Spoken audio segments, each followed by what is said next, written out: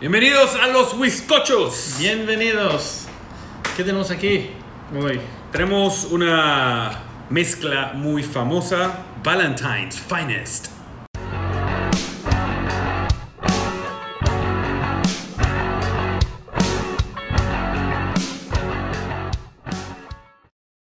Bueno, estamos hablando de un blended Scotch whisky. Sabemos que en Escocia solo se producen dos tipos de whisky, el single malt y el single grain. ¿Ok? El single grain es un whisky mucho más industrial, mucho más eh, económico de producir y usualmente utiliza barricas ya más gastadas, menos especiales, ¿no? Que es que vinieron de los whiskies de Malta que las utilizaron. Valentine's Finest Blended Scotch Whisky, blended and bottled in Scotland. George Valentine and Son Limited, Dumbartown. Dumbartown a mí siempre suena como Dumbledore de Harry Potter. Otra de esas cosas que nunca vi que todo el mundo vio, como Game of Thrones. Como Stranger Things. Sí, eso Ah, sí. ok, bueno. Si está en Netflix lo veo, punto. Esa es la fórmula para mí. Háblame de este whisky. Bueno, el señor que mencionaste, George Valentines, empezó como las historias de todos. de todos. Una, Walker. déjame, déjame, déjame Dale, adivinar, ¿ok? Dale. Tenía una tienda eh, de comida, de cosas De enlatadas, vinos. de vinos también. Sí. Empezó En a- 1827. Sí, en, en- en algún momento empezó, em- empezó a mezclar 1881, la tienda se convierte y empieza a vender sus propias mezclas, ¿no? todo, De- todo- todas las historias en Escocia son muy similares. muy Sí, la, similares. la de los marcas de blends eh, súper populares. Empiezan Son así de así. Chivas, Johnny Walker, eh, Valentine's. William Lawson, no, William Lawson un poco diferente, vamos a verlo en otro episodio. Y bueno, estamos hablando de un wiki que le dicen The Spirit of the Gods. No sé la explicación, pero es conocido como The Spirits of the Gods. Y Jane Murray en el Whiskey Bible le dio en el 2009 como Ajá. The Best, 96 puntos. Wow. Sí, en su, su A categoría. finest, este. A finest. Ok, ya, ya, Pero, pero. Me emocioné un poquito ¿Te más. emocionaste? sí, Pero, pero, ¿qué pero, pero, pero, bueno, es 2009, 2000, sí.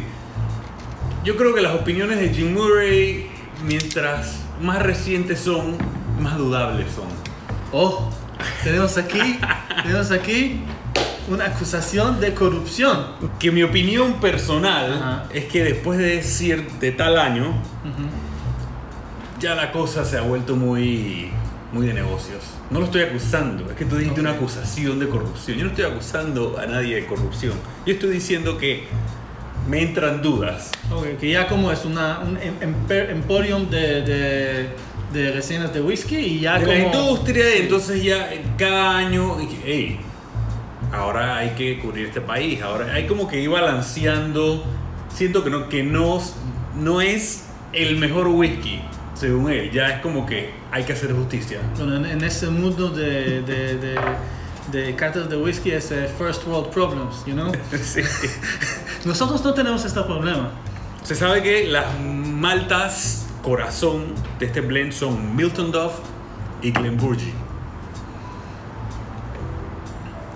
Ahora, No ¿Eso sabemos nos dice? Sí, sí. Eso- Ese, de la verdad, como aprendiendo más de, de, de los blends, me di cuenta que la razón de la existencia de, de muchos single malts son blends que no conocemos.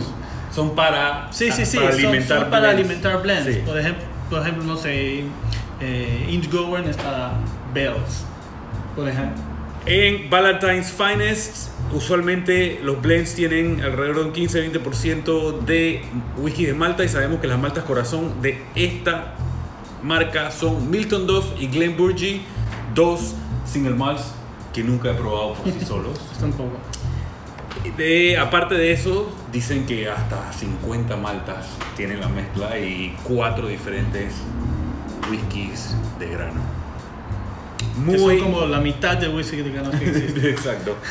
Y bueno, vayamos entrando a esto. El color no llega a ser ámbar, es más No. ligero que eso. como miel claro. Sí, como un oro, ¿no? Es como color. Sí, pero como un poquito más claro que eso. Sí. Al ver la botella y ver su color, eh, eh, chocolate. Esto podría ser un whisky que no utilice coloración de un caramelo. O sea, no hay garantías, pero No al no tener eh, el, el potencial de problemas de, de cuando la botella es transparente y, y están, digamos, en las licorerías, las marcas usualmente utilizan el colorante para que todas se vean del mismo color. Así que con una botella oscura, eso no sería necesario, pero no sabemos. Nariz. Ey, huele mira. nariz. Tiene, tiene como algo nutty. Sí, tiene la manzanita y tiene algo ahumadito. Hay, hay, hay whisky ahumado en eso. Sí, aquí hay eh, whiskies de Isla, Highlands, Speyside y Lowlands. Me parece un muy, muy buen nariz para, para un blend. Mira que sí, huele bien.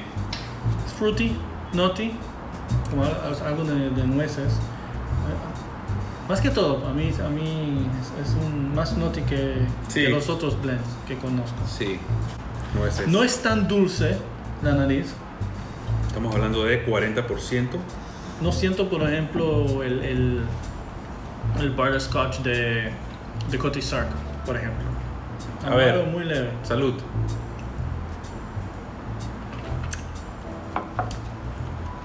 En el paladar es más dulce que, que, que la nariz. Sí, Fruity, algo de caramelo, de miel.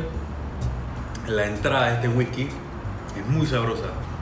El Es- mouthfeel. El, el mouthfeel mouthfeel está. es cremoso, me recuerda Sí. como el chocolatito, pero de leche, la vainilla, cremoso, Y aceitoso. Aceitoso. Este segundo sip me aguó la boca. Sí, sí. Eh, el final quizás eh, eh, no es muy largo, Y a- al final, a mí sí, como todavía. es seco. Oh. Eh, mira, para el precio, siento que es una mezcla muy bien hecha. Sí. Hicieron un buen trabajo. Eh, sí va acompañado, o sea, siento esa cremosidad agua a la boca, pero encima, la parte de arriba del paladar, queda como seca y un poquito astringente. Un poquito de eso de como de barricas ya de multiuso. Mira, que, que después de la tercer sorbo, ya el finish es muy amargo. Sí, se va poniendo amargo. Va saliendo el whisky de grano ese que está usualmente en esas barricas ya Pero muy taninas. Con hielo pasa otra cosa. Con hielo, sí. Puede cambiar esto bastante. Pero, Promotemos otros videos de blend con, con hielo. sí. Sí, se va poniendo más amargo cada vez. Sí. Al sí. inicio, yo- eh, él empieza y este whisky, así sin hielo, va, va como bajando la, la calidad de la experiencia. Sí. Va bajando, va bajando. Empieza muy bien en la nariz. Sí. Primer sorbo, segundo sorbo, ya tercero, no. No. Qué raro. Sí, primera vez que nos pasa eso en un, en un review. Al fin, ¿recomiendas este blend o no? ¿Qué? ¿Cuál es tu opinión? Si alguien va a preguntar, hey, va, este Valentine's Finest, ¿qué tal? Mira, he tomado muy poquito como para, para sentirme cómodo Ujú. dando la recomendación. Porque no es un whisky que he tomado mucho, la verdad. Y hay que probarlo con hielo, porque la gente que compra esto no anda tomando esto con estos Glencairns, en realidad. Sí. Esto es un whisky de batalla, hielo, Whisky de batalla. sí. Pero, hey, nos sorprendió. Sí. Ya después fue bajando la calidad y no sabemos hasta dónde llegue. Eso lo Ujú. descubriremos en un futuro episodio. Por eso se pueden suscribir y pueden buscarnos en Facebook en el grupo que se llama Whiskocheros. Elon los espera. Ahí tenemos gente de todo el mundo, de, de Europa hasta Japón. Entonces, bienvenidos. ¡Salud!